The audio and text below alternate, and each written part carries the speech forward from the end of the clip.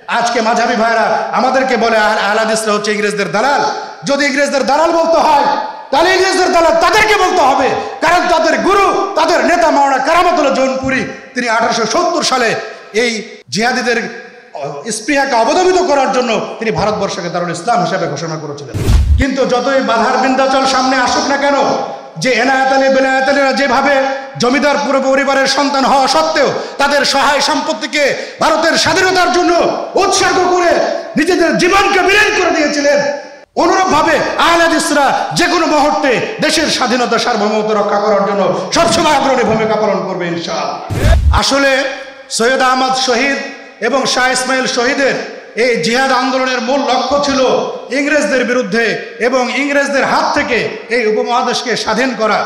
বালাকোটের শাহাদতের ঘটনার পরে এই সাদেকপুরি পরিবার তারা এই ঝাড্ডাকে উড্ডীন করেন এবং বাংলাদেশ অঞ্চলে মাওনা এনায়াত আলী দুই বছরে মোট বারো বছর এই অঞ্চলে দাওয়াতি কর্মতৎপর অব্যাহত রাখেন। আজকে উত্তরবঙ্গ কেন বৃহত্তর আহলেদিস অধ্যুষিত সেই বিষয়টি আমাদের কোনো ধাবন করতে হবে। এটি মাওনা এনায়াত আলী বেলায়াত আলী এবং রফিক মণ্ডলের দাওয়াতের তৎপরতার একটি ফল এটি আমরা অনায়াসে বলতে পারি। আহলেদিস আন্দোলন বাংলাদেশ। আসুন পবিত্র কুরআন ও সহি হাদিসের আলোকে জীবন গড়ি। আসসালামু আলাইকুম রহমতুল্লাহ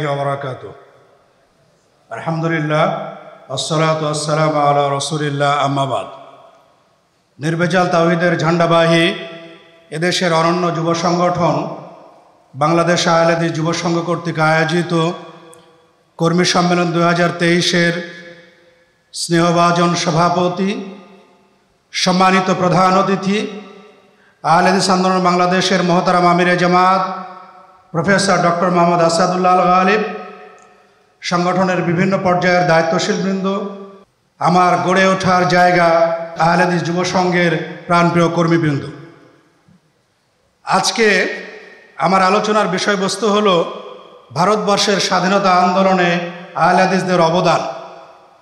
এটি এত বড় একটি বিষয় যে এক বিশাল সমুদ্রকে, সমুদ্র থেকে এক বিন্দু পরিমাণ উপস্থাপন করা হয়তো আমার জন্য নির্দিষ্ট সময়ে সম্ভবপর হবে না।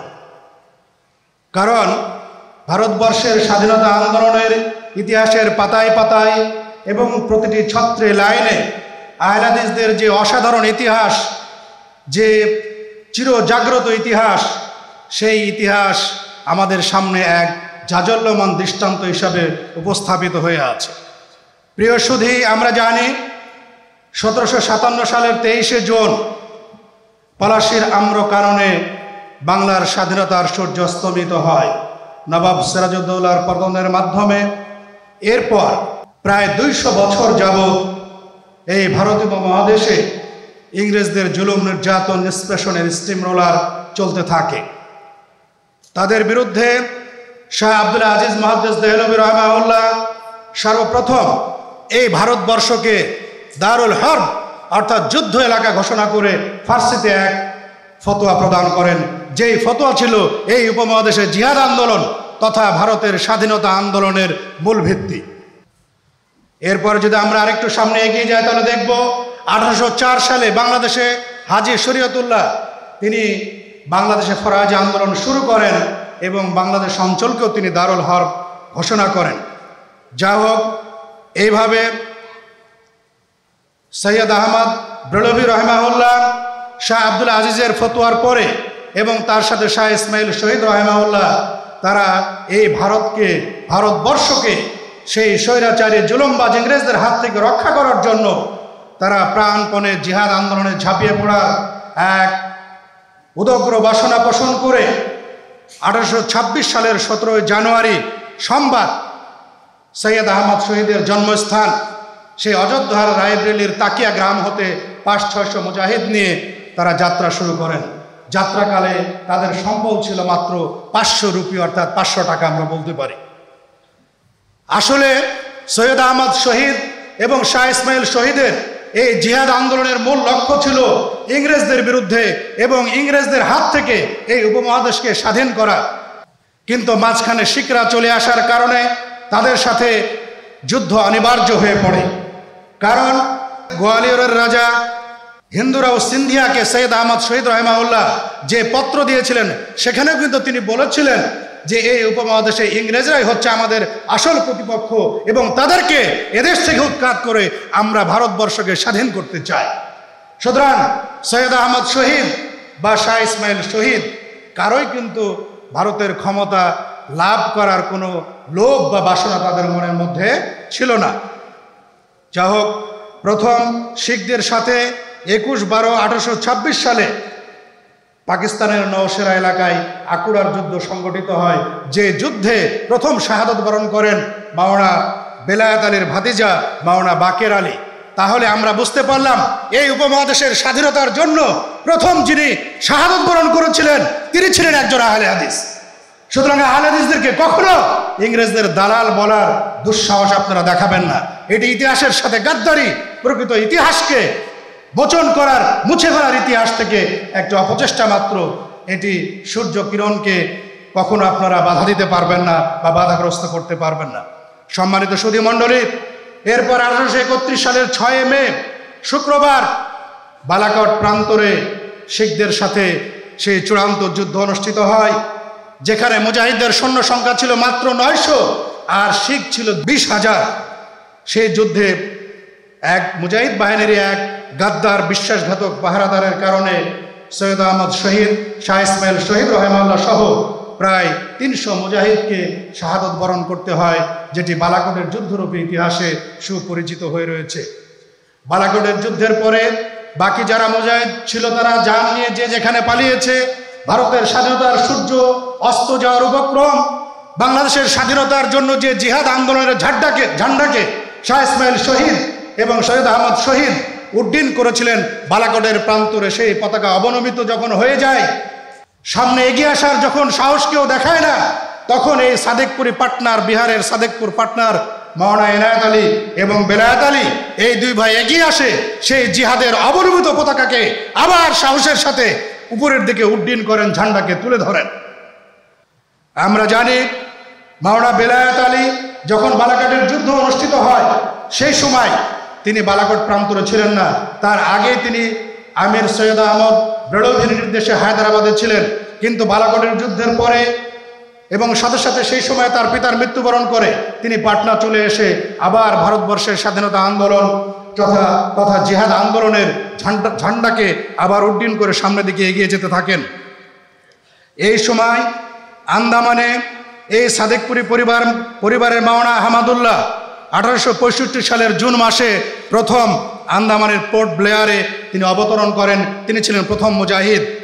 এখানে আঠারোশো আটষট্টি সালে আহমদুল্লাহর ছোট ভাই মাওনা ইয়াহিয়া আলী আন্দামানের রস আইল্যান্ড দ্বীপে শাহাদত বরণ করেন এবং মাওনা আহমদুল্লাহ তিনি আঠারোশো একাশি সালের বাইশে ফেব্রুয়ারি ভাইপার আইল্যান্ড বা সর্পদ্বীপে তিনি শাহাদত বরণ করেন। তাহলে এই স্বাধীনতা কামীদেরকে তদানীন্তন সময়ে একেবারে দুর্গম এলাকা আন্দামানে নির্বাসন দেওয়া হতো। তার মধ্যে আহমদুল্লাহকে দেওয়া হয়েছিল ভাইপার আইল্যান্ড, অর্থাৎ সর্পদ্বীপ, চিন্তা করেন, যেখানে সবসময় সাপের আক্রমণের ভয় ছিল। ভারতবর্ষের স্বাধীনতা যুদ্ধের এই স্বাধীনতা কামী মুজাহিদদের স্পৃহাকে অবদমিত করার জন্য এমন কোনো হেন প্রচেষ্টা নাই যা ইংরেজ বাহিনী করেনি। কিন্তু তারপরেও বালাকোটের শাহাদতের ঘটনার পরে এই সাদেকপুরি পরিবার তারা এই ঝাড্ডাকে উড্ডীন করেন এবং বাংলাদেশ অঞ্চলে মাওনা এনায়েত আলী দুই বছরে মোট বারো বছর এই অঞ্চলে দাওয়াতি কর্মতৎপর অব্যাহত রাখেন। আজকে সাতক্ষীরা, খুলনা, যশোর, ফরিদপুর, রাজশাহী, পাবনা, কুষ্টিয়া, বগুড়া এইসব এলাকায় তিনি গ্রামে গ্রামে গিয়ে তাবলিগ কার্যক্রম আঞ্জাম দেন। সেই জন্যে অত্র এলাকাগুলোতে দেখেন আজও আহলাদিস উদ্দেশিত।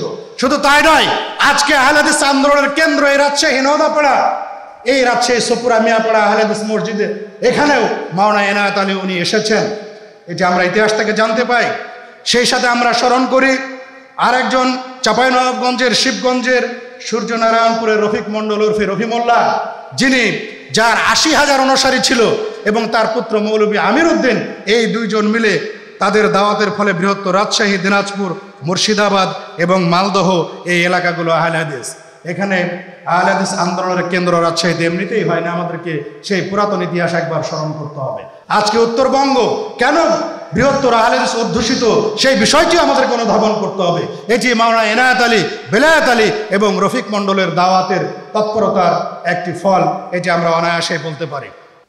সম্মানিত সুদী মণ্ডলী তাই নয়, উনিশশো ছয় সালে অল ইন্ডিয়া আহলেদিস কনফারেন্স গঠনের পরে উনিশশো তেরো সালের দিকে মাওলানা সানাউল্লাহ অমৃতসরী এই গোটা উপমহাদেশে একটি দাওয়াতি সফর করেন।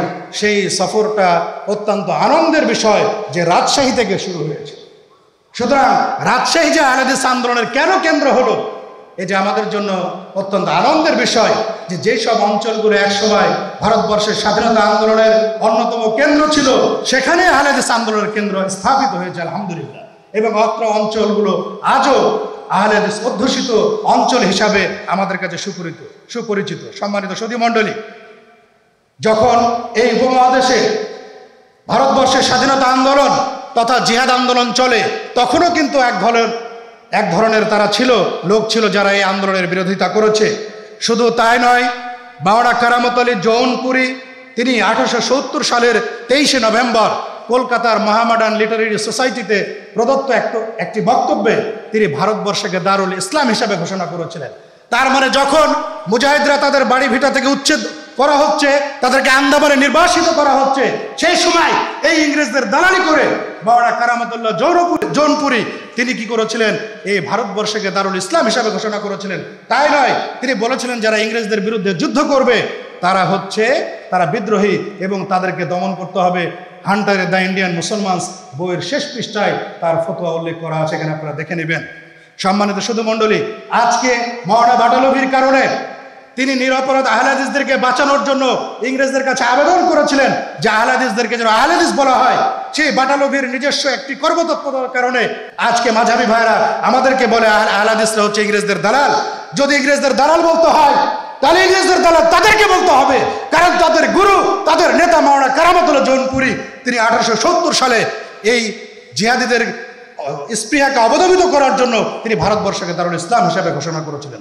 সম্মানিত সুধী মণ্ডলী, আরও একটি বিষয় হচ্ছে, আঠারোশো সাতান্ন সালে যখন সিপাহী বিপ্লব সংগঠিত হয়, তখন এই বিপ্লবকে জিহাদ আখ্যা দিয়ে যে কয়জন একটি ফতোয়া স্বাক্ষর করেছিলেন, চোদ্দ জন আলেম, তার মধ্যে শীর্ষ স্থানে নাম ছিল শাই কুল ফিল কুল মে নাজির হোসেন মহাদেস দেহলবি শুধু তাই নয় সিফাই বিপ্লবের যিনি সেনাপতি ছিলেন জেনারেল বখাও তিনিও কিন্তু একজন আহলে হাদিস ছিলেন। কিন্তু এই আহলে হাদিস আন্দোলন এবং এই মুজাহিদদেরকে দমন করার জন্য ইংরেজরা একটি সূক্ষ্ম কৌশল নিয়েছিল। সর্বপ্রথম বাদায়নের মৌলবী ফজলে রসুল সে ওহাবি বলে আহলাদিসদেরকে আখ্যায়িত অপবাদ দিয়েছিল এবং ইংরেজরা এই কৌশলকে গ্রহণ করে আহলাদিসদের বদনাম করার জন্য তাদেরকে ওহাবি নাম দিয়ে ছড়িয়ে দিয়েছিল। যে অপবাদ আজকে আমাদেরকে লামাজহাবি লাদিনী রাফাদানি সহ ওহাবি বলে অপবাদ দিয়ে দেওয়া হয়ে থাকে। কিন্তু যতই বাধার বিন্দাচল সামনে আসুক না কেন যে এনায়াত আলী বেনায়াত আলীরা যেভাবে জমিদার পুরো পরিবারের সন্তান হওয়া সত্ত্বেও তাদের সহায় সম্পত্তিকে ভারতের স্বাধীনতার জন্য উৎসর্গ করে নিজেদের জীবনকে বিলীন করে দিয়েছিলেন, অনুরূপভাবে আহলাদিসরা যে কোনো মুহূর্তে দেশের স্বাধীনতা সার্বভৌমত্ব রক্ষা করার জন্য সবসময় আগ্রহী ভূমিকা পালন করবে ইনশাআল্লাহ। এবং যেভাবে তাদের দাওয়াতের ফলে এই উত্তরবঙ্গ সহ বাংলাদেশের বিভিন্ন এলাকা আহলেদিস অধ্যুষিত হয়েছিল। সেই অঞ্চলগুলোতে আজও আহলেদিস অধ্যুষিত আহলেদিস আন্দোলনের কর্মতৎপরতা চলছে।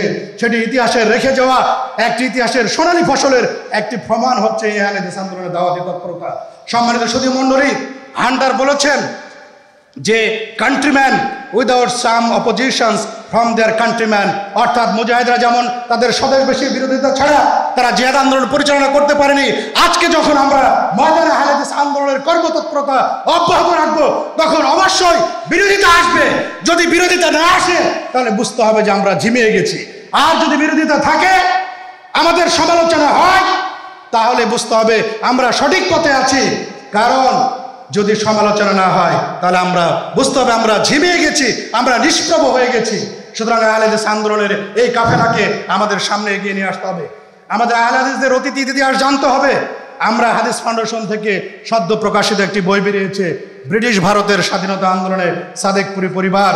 এখানে একটি উর্দু বই রয়েছে এবং আরও দুইটি আর্টিকেল রয়েছে, তার মধ্যে আমিরে জামাতের একটি গুরুত্বপূর্ণ আর্টিকেল রয়েছে। এই বইগুলো আমাদের পড়তে হবে। আরেকটি বই রয়েছে এই বিষয়ে আমাদের ভারতবর্ষের জিহাদের আন্দোলন। আহলাদিস ও হানাফি আলামদের ভূমিকা, এই বইগুলো আমরা পড়তে হবে। আমরা যদি আমাদের নিজেদের ইতিহাস ঐতিহ্য না জানি, তাহলে কিন্তু আমরা ধ্বংসের অতল গহবরে হারিয়ে যাব। একটি পয়েন্ট বলে আমি শেষ করছি। আমির জামাত সম্ভবত উনিশশো পঁচাশি সালের দিকে ঢাকায় একটি সম্মেলনে তিনি তাকে একজন মাদান আলেম প্রশ্ন করেছিল যে, স্যার আহলাদিস বলা কি যাবে? স্যার কোনো উত্তর না তিনি একটি কথা বলেছিলেন, আপনাকে মাদানি বলা কি জায়েজ হবে? স্যারের এই উপস্থিত একটি উত্তরে সেই মাদানি আলেম তখন নিশ্চিন্ন হয়ে গেছে, নিশ্চুপ হয়ে গেছে।